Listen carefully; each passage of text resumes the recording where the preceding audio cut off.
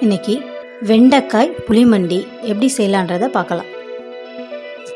வெண்டைக்காய் புளிமண்டிக்கு தேவையானவை. வெண்டைக்காய் வெங்காயம் தக்காளி அரிசி களைஞ்ச தண்ணி புளி தேவையான அளவு. தாளிக்க வரமிளகாய் கருவேப்பிலை மஞ்சள் தூள் உப்பு எண்ணெய் வெந்தயம் கடுகுளுந்து சிறிது பெருங்காயம். தேவையான அளவு குழம்பு மிளகாய்த்தூள்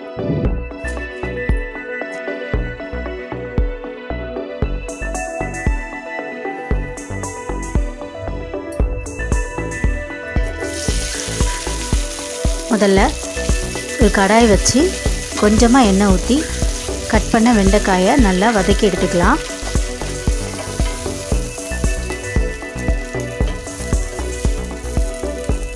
கடாயில் எண்ணெய் ஊற்றிக்கிட்டு அதில் கால் ஸ்பூன் கடுகுளுந்து கால் ஸ்பூன் வெந்தயம் சேர்த்துக்கலாம்.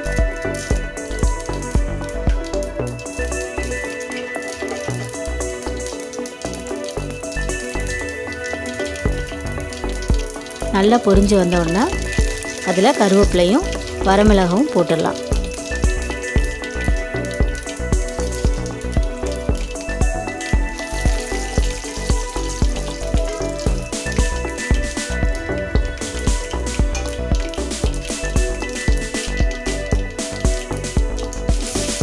வெட்டி வச்சுருக்க வெங்காயத்தையும் அதோடு சேர்த்து வதக்கிக்கலாம்.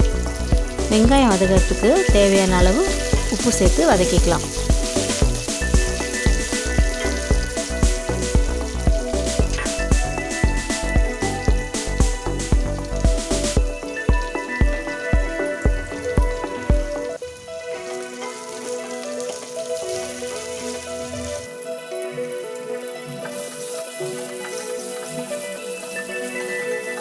வெங்காயம் நல்லா பொன்னிறமாக வதங்கிருச்சு. அடுத்து நம்ம வெட்டி வச்சுருக்க தக்காளியை அதோடு சேர்த்து வதக்கிக்கலாம்.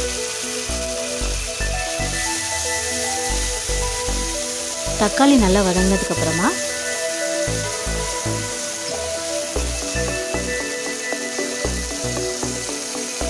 வதக்கி வச்சுருக்க வெண்டைக்காயை அதோடு சேர்த்து நம்ம ஒரு வதக்கு வதக்கிடலாம்.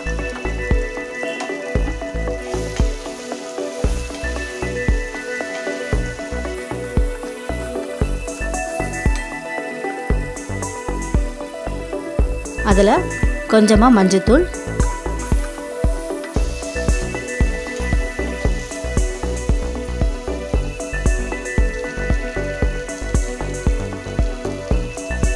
பெருங்காயத்தூள் குழம்பு மிளகாய்த்தூள் போட்டு எண்ணெயில் ஒரு வதக்கு வதக்கிடலாம்.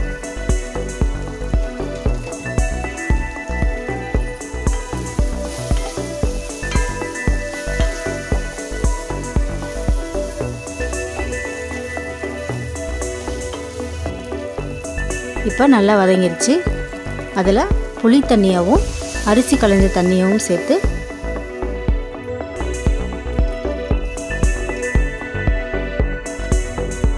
தேவையான அளவு உப்பு சேர்த்து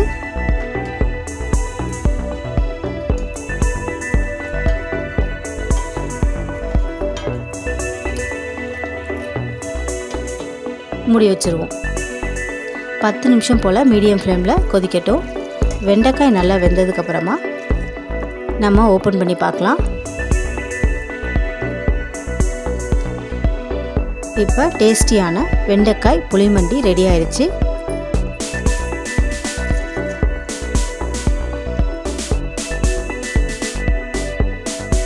சாம்பார் சாதம் தயிர் சாதத்தோடு வச்சு சாப்பிட்டா சுவையாக இருக்கும். நீங்களும் வீட்டில் செஞ்சு பாருங்கள் இந்த வீடியோ உங்களுக்கு பிடிச்சிருந்துச்சுன்னா மறக்காமல் லைக் பண்ணுங்கள் ஷேர் பண்ணுங்கள் சப்ஸ்கிரைப் பண்ணுங்கள்